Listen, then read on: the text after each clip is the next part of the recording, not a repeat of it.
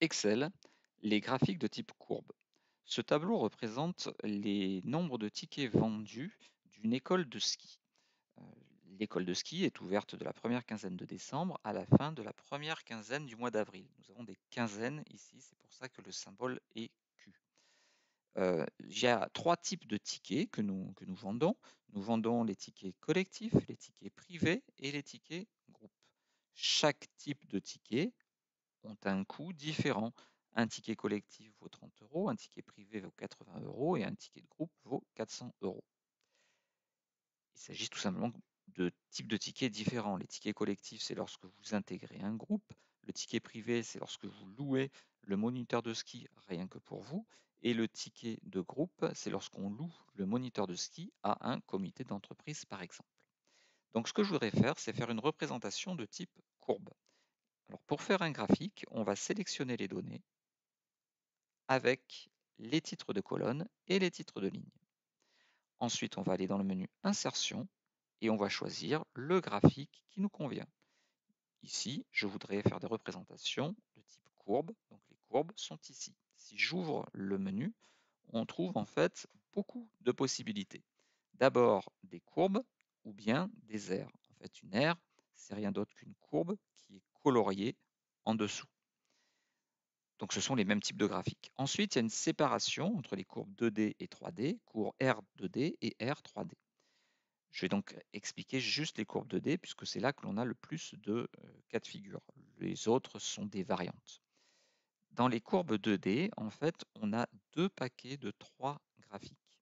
En fait, les trois premiers sont identiques aux trois derniers. La seule différence, c'est que les points sont représentés. Les valeurs du tableau sont représentées ici et matérialisées par des points.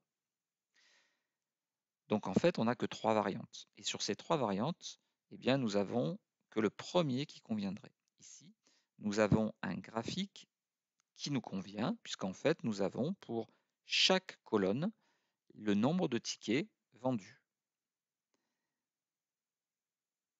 Le deuxième ne convient pas du tout. En fait, ce deuxième graphique, ce sont des courbes empilées. C'est-à-dire que la courbe bleue représente bien le nombre de tickets collectifs, mais la courbe rouge représente le nombre de tickets privés plus le nombre de tickets collectifs. C'est la somme des deux qui est représentée. C'est pour ça que la rouge est toujours au-dessus de la bleue. Enfin, la courbe verte représente le nombre total de tickets vendus. Le troisième type de graphique ne convient pas du tout non plus, puisqu'en fait, c'est un graphique empilé, comme le précédent, mais mis en pourcentage. C'est-à-dire que la courbe bleue représente le, nombre, le pourcentage de tickets vendus par rapport au total vendu, donc la part de marché finalement de ces tickets collectifs. Ainsi, euh, la première quinzaine de décembre, on voit que les tickets collectifs représentent 80% des ventes de tickets. La barre rouge, c'est la somme des tickets collectifs et tickets privés ramenés en pourcentage. Donc on voit que en première quinzaine de décembre, eh bien, la quasi-totalité des, ventes de tickets est, est, représentée par les tickets collectifs et les tickets privés, puisqu'en fait on est quasiment à 100%, on est à 98%.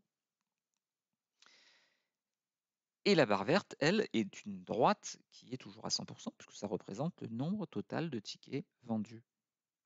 Donc bien entendu, ce type de graphique ne convient pas à ce type de tableau. Alors, il faut que je fasse un choix. Je vais donc choisir le quatrième. Le quatrième, c'est une variante du premier. Il va simplement représenter les points en plus. Je vais maintenant mettre un titre du graphique. Je rappelle qu'un titre obligatoire pour chaque graphique. Donc on va, c'est pour ça que l'option est, présente avec écrit titre du graphique pour qu'on pense à mettre un titre. On va mettre évolution du nombre de tickets vendus. Nombre de tickets, évolution du nombre de tickets vendus en 2022. Nombre de tickets en 2022, ça va être trop. Voilà. Ce que je voudrais ensuite faire, c'est peut-être ajouter des légendes, euh, pas des légendes, des titres à mes axes. Donc pour ajouter un titre à des axes, on va sélectionner le graphique et puis dans l'onglet création, on va aller ajouter un élément graphique. Et là, je vais rajouter titre des axes horizontal principal. Et là, je vais pouvoir dire qu'il s'agit de la de l'année de la saison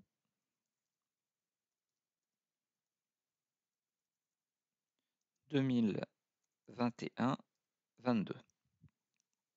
Et puis, je vais aussi donner un titre du graphique, euh, un titre des axes vertical pour rappeler que ce sont des nombres de tickets et que ce n'est pas un chiffre d'affaires. Donc on va bien mettre nombre de tickets avec un S. Voilà, donc là j'ai mis mon titre de graphique, ou là j'oublie un O d'ailleurs, on va le retaper. J'ai mis un titre de graphique, j'ai mis euh, un titre à mes axes, j'ai une légende, cette légende est par défaut en bas, mais je voudrais la mettre à droite. Bah, je vais simplement, et que dès que je le clique, il ouvre un panneau là qui s'appelle format de légende. Je vais indiquer que je le veux à droite. Ensuite, on va, euh, on va aussi demander à ce que l'axe des ordonnées est un maximum de 700. Vous voyez que de 700 à 800, ce sont des valeurs vides. Moi, je voudrais bah, utiliser toute la hauteur finalement pour mon graphique. Donc, je voudrais qu'il s'arrête à 700. Donc je vais me cliquer sur l'axe des ordonnées. Et là, je vais cliquer sur le petit graphique. Ce sont des onglets en fait, ça. Hein. Vous voyez, ce sont des onglets. Et là, je vais cliquer sur l'onglet graphique pour dire que le maximum est de 700. Là, je pourrais régler aussi l'unité principale. Hein. Si je voulais pas un pas de 100 en 100, mais un pas de 50 en 50, ben, je mettrais 50 simplement. Et puis, euh, dernier, point, je vais essayer euh, de, euh, mettre, de, mettre un dégradé de couleur à mes, axes, à mes séries. Alors pour cela, par exemple celle-ci,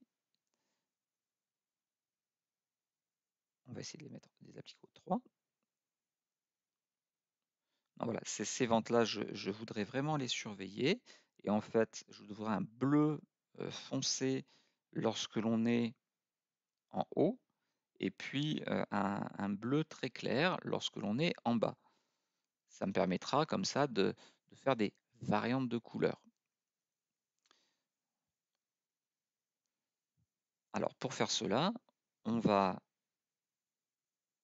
on juste prendre cette, cette, cette série là qui s'intitule les tickets collectifs et puis on va aller gérer la mise en forme. Donc on retourne sur le petit pot de peinture et là on va pas faire un trait de type automatique mais on va demander un dégradé de couleur. Alors cette courbe là, ce que je voudrais faire dans mon énoncé, on dit que vert quand les, quand les ventes sont hautes, et puis, on va mettre du rouge quand elles sont basses. Et puis au milieu, il faudrait que ce soit bleu. Donc, une fois que j'ai mis dégradé, ici, on voit que par défaut, c'est blanc. Donc là, on va dire que je veux du vert. Donc, je sélectionne bien celui-ci et je vais mettre un dégradé vert. Non, pardon, vert. Quand elles sont basses, je veux un dégradé rouge. Je ne veux pas 4 points, je n'en veux que 3, donc j'en sélectionne un et je le supprime. Et quand elles sont normales, donc vous voyez, je le, le mets au milieu. Et là, quand elles sont normales, je les veux bleues. Voilà, donc on s'aperçoit. Alors par contre, j'ai du vert, celle-ci, ça serait peut-être plus pratique si je la mettais pas verte, mais que je la mettais orange par exemple, et celle-ci que je la mettais pas rouge, mais il faut des autres couleurs, quoi. il ne faut pas que j'utilise ces trois couleurs de base, je la mettais violette. Voilà, donc on voit que pour les tickets collectifs, quand on a des valeurs basses, on est en rouge, quand on a des, des valeurs moyennes, on est en vert, et quand on a des valeurs hautes, on est en bleu. Je vais l'agrandir un peu.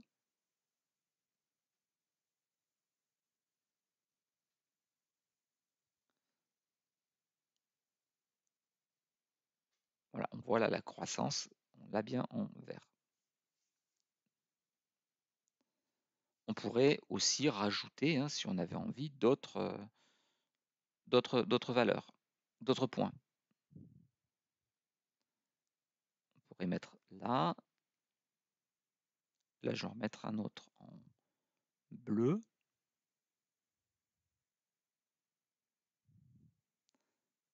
Ce qui me permet juste de faire ressortir la valeur rouge ici et la valeur verte ici pour la grande croissance.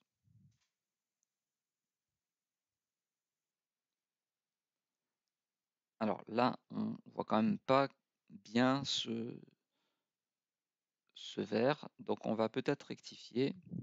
On va revenir là sur le pot de peinture et on va en laisser que deux. Je vais enlever le vert. Ainsi, quand les ventes sont faibles, on est en rouge. Quand les ventes sont fortes, on est en bleu. Voilà, donc si vous avez aimé cette petite vidéo, n'hésitez pas à la liker. Vous pouvez aussi vous abonner à la chaîne pour voir toutes les nouvelles vidéos que je publie très régulièrement. Merci.